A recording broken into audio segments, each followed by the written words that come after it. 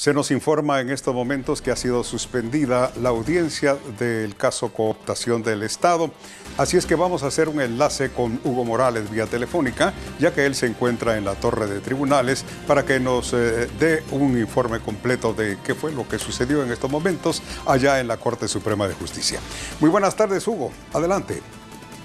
Gracias, don Carlos. Buenas tardes. El juez de mayor riesgo, Miguel Ángel Galvez, aplazó la diligencia para este viernes a las 9 de la mañana, considerando que su resolución pues será bastante extensa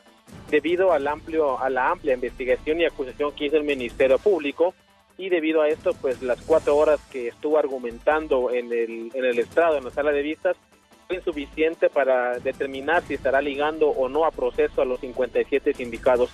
El juzgador dijo que mañana espera retomar la diligencia a las 9 de la mañana y tratar de avanzar lo más posible, aprovechar el tiempo lo mejor posible para eh, de aplazar la diligencia a las 12 horas, pero ya con la resolución correspondiente. Los indicados al momento de abandonar la, sala de audiencias de, la sala de vistas, pues indicaron de que es muy temprano para dar alguna opinión si quedarán ligados o no, ya que el argumento del juzgador no fue bastante concreto para determinar cuál será su decisión judicial, pero que están ansiosos por conocer cuál será la decisión del juzgador Galvez, que podría ser este viernes. Asimismo, algunos abogados y el expresidente de la República, Otto Pérez Molina, criticaron el punto que dio el juzgador Galvez al momento de iniciar su argumentación de que no tomará en cuenta la declaración de Juan Carlos Monzón, que esta es una declaración que Monzón dio, que la tiene el Ministerio Público, pero que él no la entrará a valorar.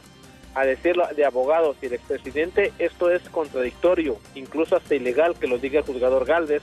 porque toda la investigación, toda la acusación en contra de los sindicatos gira en torno al personaje del colaborador, del colaborador eficaz, que es Juan Carlos Monzón. De esa cuenta, ellos dicen, si el juez Galvez no toma en cuenta la declaración de Juan Carlos Monzón, quiere decir que nadie cometió ningún delito y que por consiguiente debe resolver la falta de mérito.